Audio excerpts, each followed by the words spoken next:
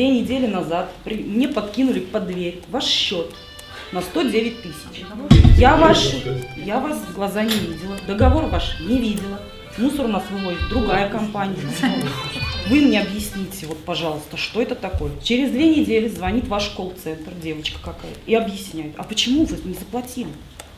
Я говорю, а на каком основании? Она говорит, федеральный закон. Я говорю, хорошо, а вы по федеральному закону выполнили свои?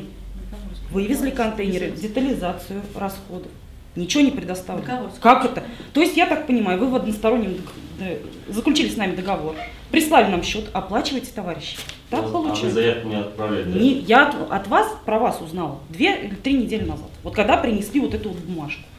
Ну, У нас есть компания, которая вывозит мусор, у нас все хорошо, все компания? компания? спецавтотранспорт. Спецавтотранспорт.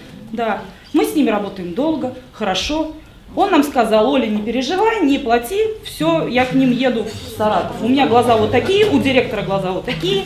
Я по своим администраторам, кто мусор забирал. Мне первый вопрос, кто забирал мусор? Вы его не забирали.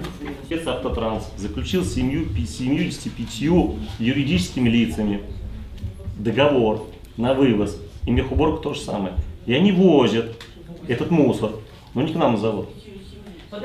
Не к нам. Вот, вот, вот вопрос. Подождите, Подождите, подождите, подождите. Вот, вот, вот, женщина, женщина, вы дайте нам договор, можете нам договор свой дать копию? Подождите, вопрос, был- Женщине. вопрос был задан, дайте Вопрос был задан. договор Вопрос был задан. Я вас, я прошу еще, у кого спецавтотранс или мехуборка возит, дайте нам копии этих договоров. Вы в одностороннем порядке работаете.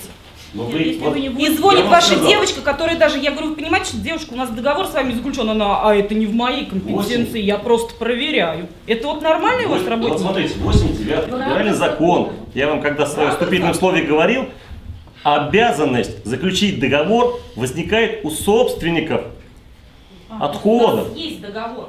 с рекоператором. Вот посмотрите, вот не, не то, что я вот там захотел и все, вот я начал. Федеральный закон, в котором четко написано, да, вот четко, и мы его не должны нарушать.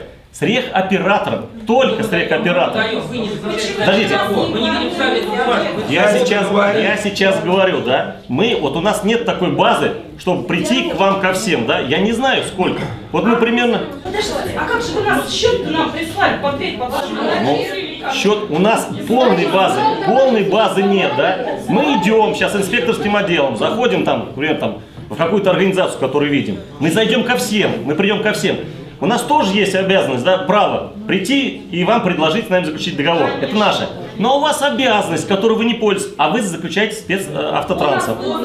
Я не знала, что с вами. Коллеги, вот тогда я в качестве объявления, кто не читал 89 ФЗ, там написано с момента начала деятельности рехоператора, это не только Саратов, с каждый субъект, из 91 субъекта Российской Федерации, в каждом субъекте обязанность заключить договор есть только с пресс-рехоператором. Вот чтобы запомнили мы.